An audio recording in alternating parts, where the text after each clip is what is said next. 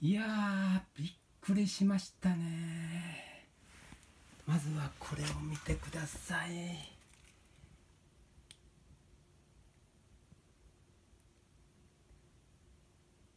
最高速度64.2キロ。最高速度時速64.2キロも出ました。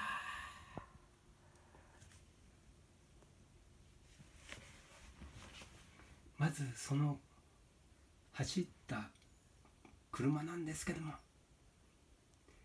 RB6 表彰モデルチャンピオンモデルです。7.5T のモーターとこちらの中国製のリポバッテリーです、えー、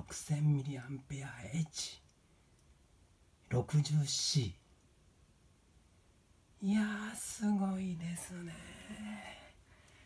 いや感動してます。えー、紹介遅れました。ヌーヌーヌーです。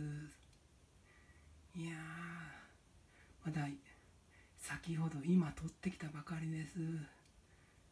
あえ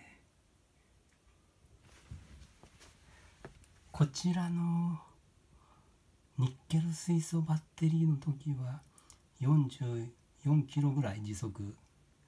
なのにこちらのリポバッテリーだと64キロ。も出ます。こちらです。